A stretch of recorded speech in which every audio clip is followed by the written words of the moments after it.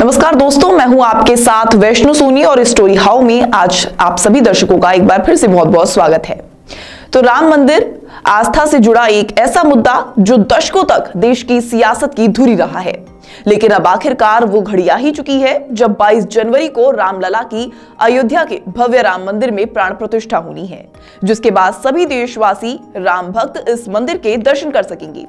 वहीं श्री राम जन्मभूमि तीर्थ क्षेत्र ट्रस्ट के साथ ही विश्व हिंदू परिषद यानी कि वीएचपी और राष्ट्रीय स्वयं सेवक संघ समेत तमाम संगठन इस आयोजन को ऐतिहासिक बनाने, दिव्य भव्य रूप देने की तैयारियों में जुट गई है, जिसको 2024 के लोकसभा चुनाव से भी जोड़कर देखा जा रहा है। जी हाँ वैसे गौरतलब है, बीजेपी जिस तरह राम मंदिर की तैयारियों को लेकर एक्टिवनेस दिखा रही है तो उससे एक बात तो साफ़ है कि इस बार के चुनाव में बीजेपी राम मंदिर के पिच पर आक्रामक बैटिंग करने के मूड में है।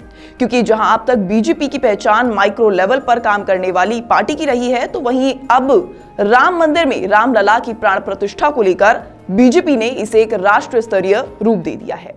जिसे बीजेपी की छवि और भी ज़्यादा उभर कर सामने आई है। कभी भगवाधारी तो कभी राम नाम के नारे और अब राम मंदिर निर्माण के बाद देश भर में जो माहौल बन रहा है, उसे बीजेपी के लिहाज से लोकसभा चुनाव में जीत की हैट्रिक लगाने के अनुकूल बताया जा रहा है। यहाँ तक कि राम मंदिर में रामलला की प्राण प्रतिष्ठा के लिए आयोजित कार्यक्रम में विपक्ष के शामिल होने या ना होने के असमंजस से बीजेपी को और भी ज़्यादा खुलकर फ्रंट फ्रूट पर खेलने का मौका मिल गया है। वहीं अब इन सब बात से एक बात तो साफ़ हो चुकी है कि बीजेपी को 2024 के चुनावों में विपक्ष पर बड़ी बढ़त मिल सकती है। चलिए राम मंदिर को लेकर फ़िलहाल बीजेपी की रणनीति को चार पॉइंट में आपको समझाती है। तो इसमें सबसे पहला है ज़िले मोहल्ले घर घर पहुँचने की रणनीति। जी हाँ राम और राम मंदिर का मुद्दा आस्था से जुड़ा रहा है। रामलला की प्राण प्रतिष्ठा से पहले बीजेपी की रणनीति, राम मंदिर मुद्दे को लेकर हर ज़िले, हर घर, हर गाँव मोहल्ले और घर तक पहुँचने की रही है। पूजित अक्षत कलश यात्राएँ निकली तो अब अक्षत के साथ साथ भगवान राम की फ़ोटो और पत्र बांटे जा रही हैं। नेपाल के जनकपुर धाम से अयोध्या तक घरवास यात्रा हो रही है। तो वहीं ऐसे में दूसरा पॉइंट है, आस्था को धार देने की मुहिम।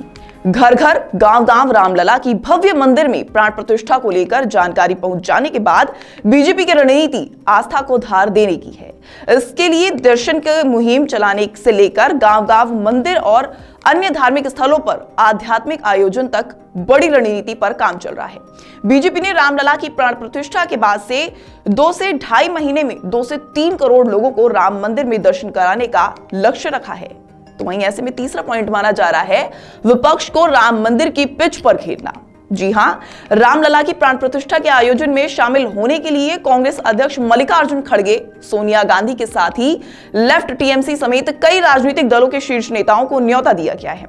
लेफ़्ट पार्टियों ने इस आयोजन से दूरी बनाने का ऐलान कर दिया है। वहीं कांग्रेस समेत कुछ पार्टियों में इसको लेकर असमंजस भी है। आरजेडी प्रमुख लालू यादव और राबड़ी देवी के आवास के बाहर एक पोस्टर लगा था। जिसमें मंदिर को मानसिक गुलामी का मार्ग बताया गया था। तो वहीं ऐसे में तीसरा पॉइंट है विपक्ष को राम मंदिर की पिच पर घेरना। रामलला की प्राण प्रतिष्ठा के आयोजन में शामिल होने के लिए कांग्रेस अध्यक्ष मल्लिकार्जुन खड़गे, सोनिया गांधी के साथ ही लेफ़्ट टीएमसी समेत कई राजनीतिक दलों के शीर्ष नेताओं को न्योता दिया गया है। लेफ़्ट पार्टियों ने इस आयोजन से दूरी बनाने का ऐलान भी कर दिया है। वहीं कांग्रेस समेत कुछ पार्टियाँ इसे लेकर असमंजस की स्थिति में भी दिखाई पड़ रही हैं। आपको बता दें, आरजेडी प्रमुख लालू यादव और राबड़ी देवी के आवास के बाहर एक पोस्टर लगा था, जिसमें मंदिर को मानसिक गुलामी का मार्ग बताया गया था। विपक्ष पार्टियों के असमंजस और इस तरह के पोस्टर्स को लेकर बीजेपी ने आक्रामक रुख अख्तियार कर लिया है। इसे इस बात का संकेत भी माना जा रहा है कि बीजेपी की रणनीति विपक्ष को राम मंदिर के पिच पर घेरने की होगी। तो वहीं ऐसे में चौथा पॉइंट है, मंदिर आंदोलन में अपनी अहम भूमिका बताना। जी हाँ बीजेपी राम मंदिर आंदोलन को लेकर बुकलेट छपवाकर वितरित करने की भी तैयारियों में है। इस बुकलेट के ज़रिए पार्टी की रणनीति मंदिर आंदोलन में अपनी अहम भूमिका बताने की है।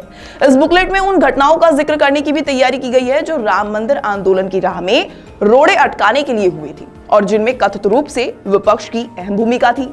बहरहाल अब देखना दिलचस्प होगा कि लोकसभा चुनाव में क्या वाकई हैट्रिक बनाने में बीजेपी कामयाब हो पाएगी या नहीं, ये तो फ़िलहाल आने वाला वक्त ही बताएगा। इस पर आप क्या सोचते हैं, ये हमें कमेंट सेक्शन में ज़रूर बताएँ और इस तरह की वीडियोस के लिए बने रहिए हमारे साथ और देखते रहिए स्टोरी हाउ।